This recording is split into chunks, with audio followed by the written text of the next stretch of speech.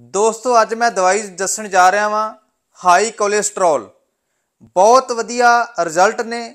ਅਸੀਂ ਆਪਣੇ ਕਲੀਨਿਕ ਦੇ ਉੱਪਰ ਇਹ ਦਵਾਈ ਕੋਲੇਸਟ੍ਰੋਲ ਵਾਸਤੇ ਰੋਜ਼ਾਨਾ ਹਜ਼ਾਰਾਂ ਮਰੀਜ਼ਾਂ ਨੂੰ ਦਿੰਨੇ ਆ ਕੁਝ ਦਿਨਾਂ ਦੇ ਵਿੱਚ ਹਾਈ ਕੋਲੇਸਟ੍ਰੋਲ ਜਿਹੜਾ, ਉਹ ਆਪਣੀ ਨਾਰਮਲ ਨਾਰਮਲ ਰੇਂਜ ਦੇ ਵਿੱਚ ਆ ਜਾਂਦਾ।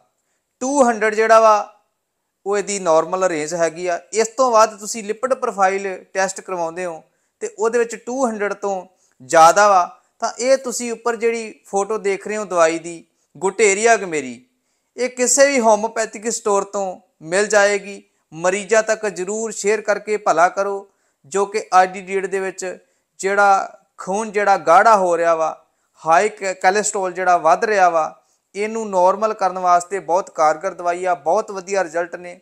ਕੱਚ ਦੀ ਗਲਾਸੀ ਲੈ ਕੇ 15 ਬੂੰਦਾਂ ਸਵੇਰੇ 15 ਦੁਪਹਿਰੇ 15 ਸ਼ਾਮ ਨੂੰ ਤੁਸੀਂ ਕੁਝ ਦਿਨ ਦੇ ਵਿੱਚ ਜਿਹੜਾ ਹਾਈ ਕੋਲੇਸਟ੍ਰੋਲ ਜਿਹੜਾ ਵਾ, ਉਹਨੂੰ ਨਾਰਮਲ ਕਰ ਸਕਦੇ ਹੋ।